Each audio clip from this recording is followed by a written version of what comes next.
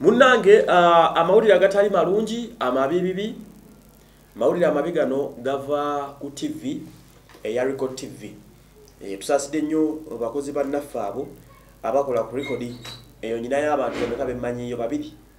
Anderson luzze n'omwana omuwala queen gladys.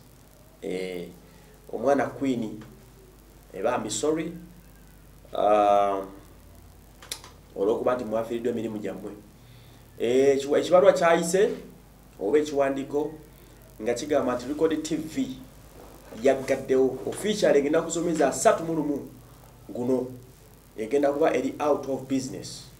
Era ne bagamba bonna abadde bakola ku record tv bawandiike amabaluwa gaabwe aga resigninga bw'owulira tv nga record tv ngaeggaddewo otyamu nogamba business industry ya media eragawa mu uganda kati awo otira abasajja balina zi tv nga ziyimiridde znbs zntv zibukedde nga weziri zistandinga nga namagoba zikola zisoroti awo otyamu oba okitegeera.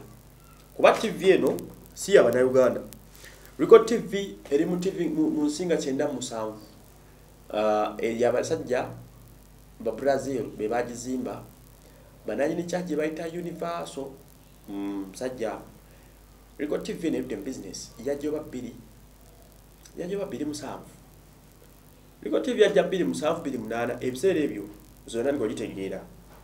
Ah, nejja neekuba yali yamaanyi nnyo Douglas gye yatandikira ng'akola show gye bayita katogo. Eh, record tv ye tv yasooka okuweereza mu luganda obulungi ng'egattamu ku luganda n'oluzungu era yasooka okuba ennyimba za wano eziri loko ng'ezikuba nnyo n'eziwa power play. Eh, record tv newamba nno nefuuka y'amaanyi. Ah, naye nejja ng'eva mu business mpola bano balema okumanya clientele base kyetaaga because bwe bajja mu business ne basooka bakikuba ne bafuna attention yaffe ate ne badda mu byoluzungu Ah, ebintu bye batuweereza nga tubitegeera nnyo. Bukere tv nejja nebawamba record negenda ngegwa mpola! In fact wetukidde okuggalawo nga zizimu ku tv ezina viewership entono ne bankubadde badde erina waaka nga mulungi ng'erina amawulire g'essaawa kumi nabbiri awo nga g'amaanyi buli wobadde ngolaba omuzindaalo gwa ntv mu kusaka amawulire nga record ebawo ne muna amawulire waayo. Ze zimu ku tv ezadde zimu balina ekifaananyi ekitukula ennyo ku mpewo. Mbadde nga njiraba ku satime zaawo ne ku go tv nga balina ekifaananyi ekiri very sharp nga kitukula nnyo nnyo nnyo. Yemu ku tv entono ezibadde zirina offices ennungi. Wali ekamwokya nga bali ku kizimbe kalina kinene kyabwe. Production wabe nga mulungi kamera zabe nga nnungi liko tv ebintu bye bibadde birungi nnyo nnyo nnyo nnyo nga bw'okiwulira. Eh, naye bizinesi yabalemye okuyimiriramu bagenza okumaliriza ka bizinesi bagikubye ekigo ng'ekito bakitadde. Era bwe batyo abakozi bonna aba record tv ne babagamba ba resigninge bawumule eh, emirimu basooke bagyesonyiwe.